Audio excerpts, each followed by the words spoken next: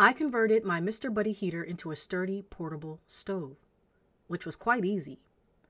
I started by creating this mountable rack using two inexpensive parts found at just about any big box store.